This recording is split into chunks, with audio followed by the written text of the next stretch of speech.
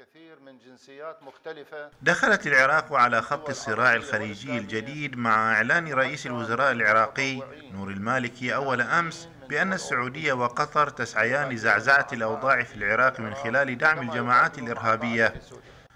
وخص المالكي في حوار مع فرانس 24 هجومه على السعودية التي قال بأنها باتت ترعى الإرهاب في المنطقة والعالم. بماذا تتهم هذين البلدين بالتحديد؟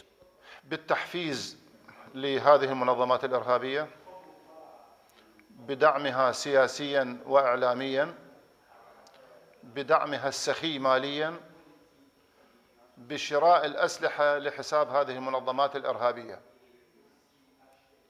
وبالحرب المعلنة من قبلهم على النظام السياسي في العراق.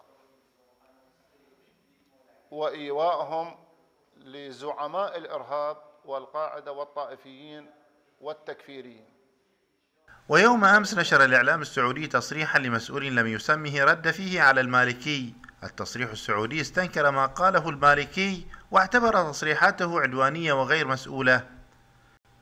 يأتي ذلك بعد أيام من انفجار العلاقات القطرية السعودية على خلفية الصراع على مناطق النفوذ في مصر وسوريا.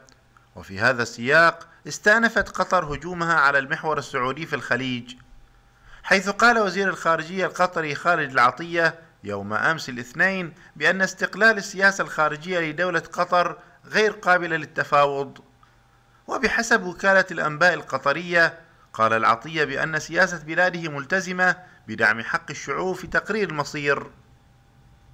ودعم الديمقراطيات الناشئة التي أعقبت الربيع العربي إلا أن متابعين للشأن الخليجي ذهبوا إلى أن تصريحات العطية تعاني من الازدواجية وذلك بالإشارة إلى موقف قطر غير الإيجابي حيال ثورة البحرين.